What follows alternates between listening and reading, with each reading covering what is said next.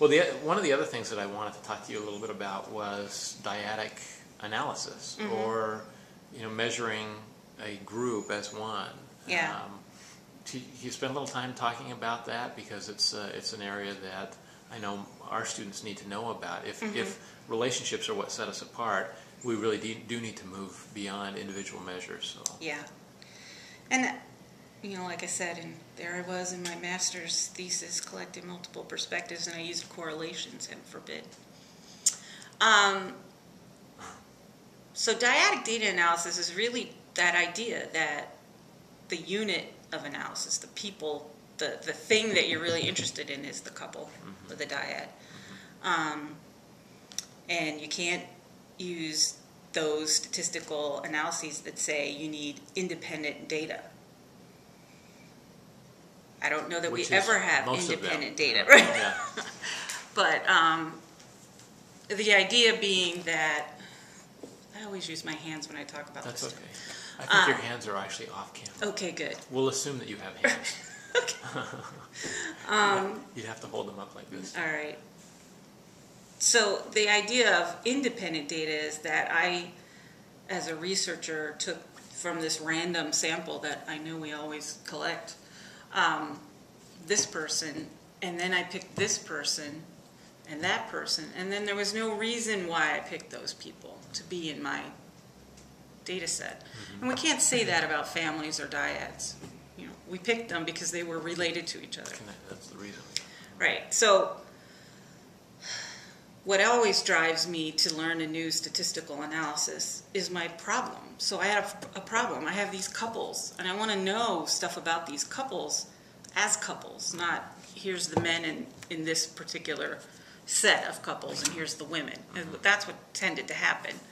Um, because I want to know what impacts like what happens between a when a man is this particular way i'm talking about heterosexual couples and a woman is this particular way how does that impact them both? Them as a unit. right and so there are lots of things that you can do. You can use structural equation modeling mm-hmm. to do dyadic data analysis which is just a matter of saying well here's the man in the couple here's the woman in the couple and now what are we going to do? Either does their like if you're looking at marital satisfaction you could see whether or not their marital satisfaction loaded on the same latent variable. So is it really a couple level marital satisfaction or something different?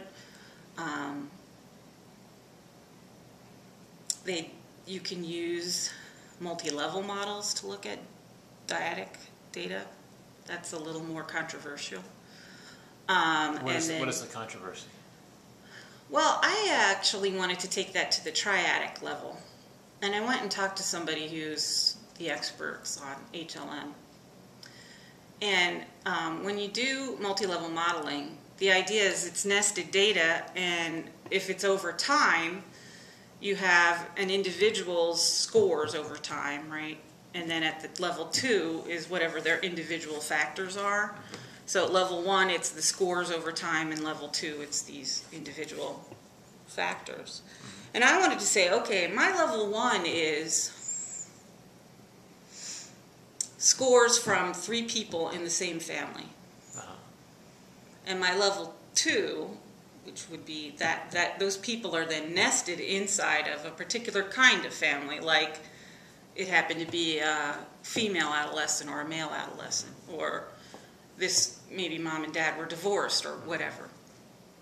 And then, So some kind of descriptive Right. variable within that Right. set that, that would uh, that a whole group could hang around. right, exactly. All adolescent young women who had experienced this. Right. Okay. Right.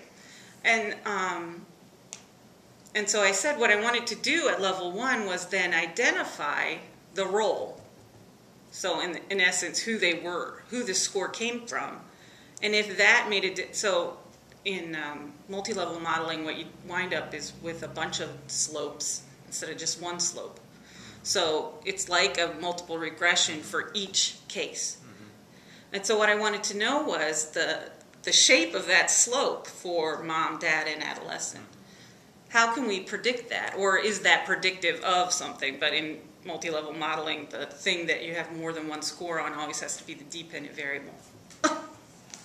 So that always makes it a little tough. But anyway, that was one thing I was interested in. So I talked to this guy, big guru in uh, HLM. HLM, and he said, no, you can't do that. Because there's no reason why you would expect differences. I mean, you can't hypothesize differences in these roles. And when you're talking about it longitudinally, you're talking about time. And time can't go backwards. Therefore, you know, if time zero is always time zero, you can't make it time one.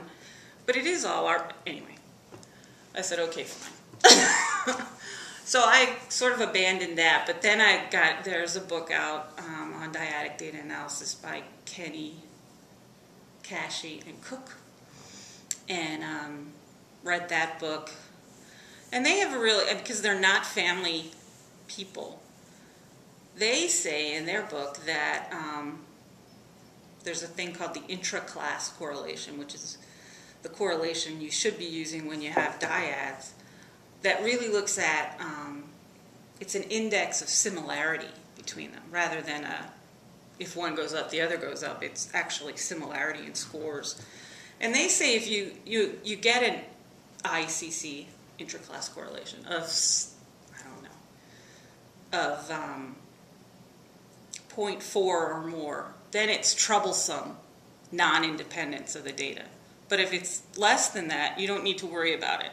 So, and when they say troublesome non-independence, you, something is having an effect. Something Right. you're- you're- Troublesome meaning you'd get biased estimates if you tried to um, separate the Okay. the two people in the couple or whatever. And but it's interesting because I do ICCs with our clinic data, and I, some are zero, meaning there is no similarity mm-hmm. between these two people, like on differentiation or something mm-hmm. like that. But I can't call that a random selection of people. They're related to, they're married. You know? so how can I ignore them as being a dyad? So I disagree with them on that.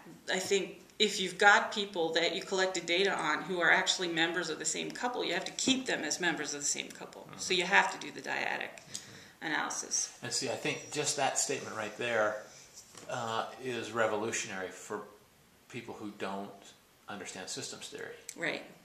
And I think uh, one of the problems, it seems to me like one of the problems that we have is we, we all get trained in systems theory at the clinical level, and then we go and we do our research methods class, and everything is individual, Right. independent uh, samples, and these these um, assumptions that are that need to be fulfilled. You know, like these are the, the assumptions of the, of the statistical pre- procedure, Right. Normal distribution, independence, Right. et cetera, et cetera.